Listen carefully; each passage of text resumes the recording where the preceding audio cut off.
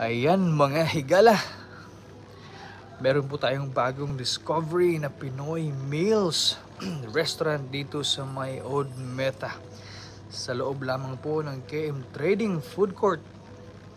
Familiar Cuisines ang pangalan po ng kanilang restaurant. Madaming masasarap.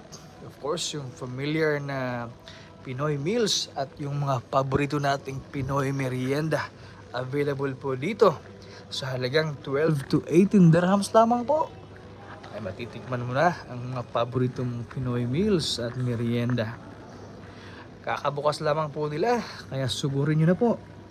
Along St. Mary's Church lamang po ito.